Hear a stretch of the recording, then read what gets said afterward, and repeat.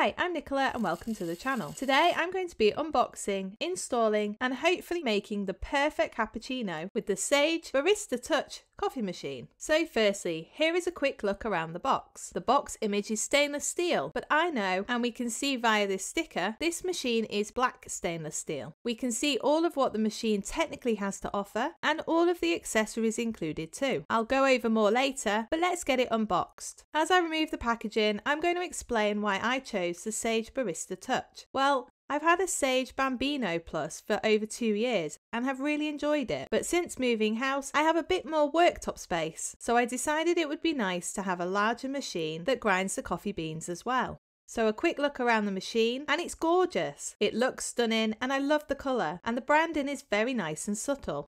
This here is the hopper where the beans are grinded and it attaches by placing it on the top and twisting to lock into place. This scroll wheel is used to adjust how fine or coarse you'd like the beans grinding. I'm excited to play around with these settings for the perfect grind. I love this neat storage space for the tamper to go in. The tray is removable for easy emptying into the sink and there's this little pop-up to remind you when it's full and behind it there's this really handy tool storage so all the little cleaning bits won't get lost in the kitchen drawers.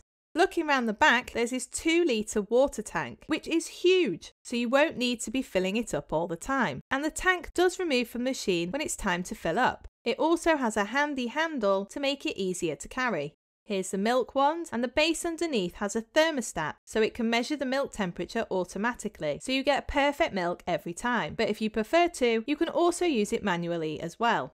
So, other than the coffee machine, here are all the bits you get in the box. We have minimal instructions, the razor for measuring the right amount of coffee, the portafilter with one filter basket already placed in it, a stainless steel milk jug, a little cleaning kit with cleaning tablets, brush and bits in, here we have various filter baskets for single shot or double and a set for fresh ground beans and pre-grounded. It's important to use the right one for the coffee type or the espresso will extract either too fast or too slow. This is a tamper for pressing the ground coffee into the basket and finally the water filter. This fits into the black holder and then clicks into the water tank. Turning it on for the first time, you get this quick demonstration on how to use it. Just make your way through the menu and input your water hardness and it's ready to use. So here it is in the kitchen and it's stunning. I'm so happy I chose this model. The size is perfect for where I want it to go and it looks very professional. I just hope my coffee making skills do it justice. The dimensions are on screen now if you're interested and it weighs 10.3 kilograms. Sage do also do this model in stainless steel but I chose the black so that it matches with the other appliances in the kitchen. I'm also thinking the black may be easier to keep clean too.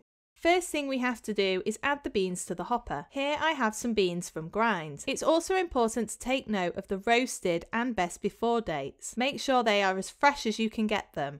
So we take the lid off and pour the beans in. Wow, they smell amazing. This is a full 227 gram bag and the machine's maximum is 250, so they fit in there nicely. And put the lid back on. Now turn the machine on and choose which coffee to make. My favourite is a cappuccino, so I'm going to start there. It shows all of the instructions on screen of how to make a coffee in three easy steps. It also shows you what grind size, basket size and milk temperature too. So here I have a double espresso bean basket and I'm going to put it under the grinder and press grind. I'm nicely surprised as it's not actually as loud as I thought it would be. It then stops when it's ground the perfect amount needed. You'll find the little tamper in here. It holds in place but it's also easy to pull out. I think it must have a little magnet in there. Press the coffee in the basket, then twist on the machine to brew. This bit makes you feel like a real barista. Place your favourite mug underneath and press brew.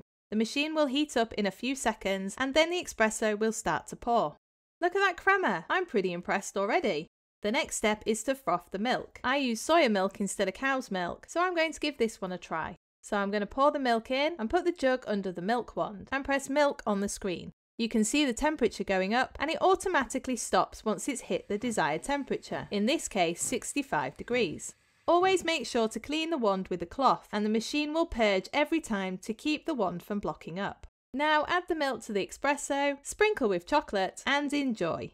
Thank you for watching, please like, subscribe and tell me what your favourite coffee is in the comments and I'll see you again soon.